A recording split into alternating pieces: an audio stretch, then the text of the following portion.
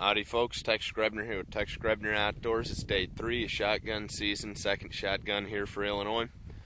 Headed in for an evening hunt, and we got snow. Once in my stand, I sat in the almost silent woods. I listened to the crackle, almost imperceptible, of the frozen air. Every day of hunting is exactly the same, but every day of hunting is just a little bit different. My stand overlooked a grass field near the creek. I watched the point of the ridge and I watched the field,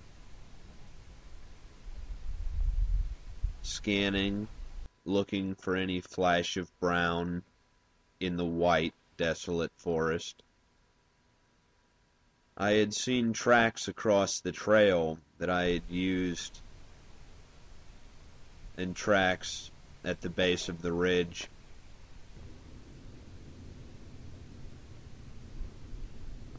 The squirrels had now gone, but I still heard the occasional woodpecker. Every so often I would hear a far off shot.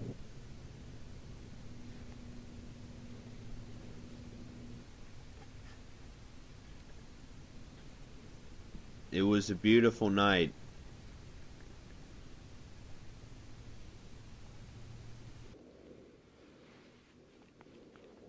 I checked behind me just before I got down to ensure that there were no deer that had made their way up the ridge.